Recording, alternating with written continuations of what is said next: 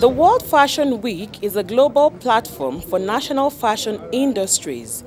The event provides a forum for worldwide exposure and recognition for designers and attracts fashion enthusiasts and professionals to seek access to the global market.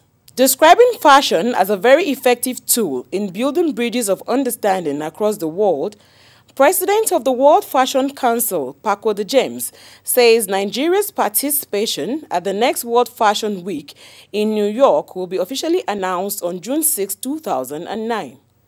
Speaking at the event, attended by wives of governors of Zamfara and Benue states, among other fashion enthusiasts, including Nigeria's Minister of Culture, Tourism and National Orientation, who said government is interested in developing the creative industry, making it one of the nation's foreign exchange earner. Also now that government is taking serious interest in the creative industries, or what we call the cultural industries, through which we can do a lot for our people.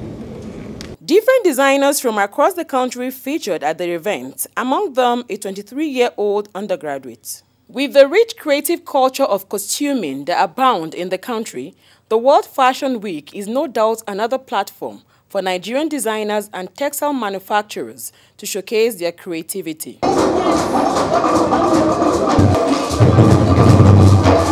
Derinsola Adebanjo, AIT.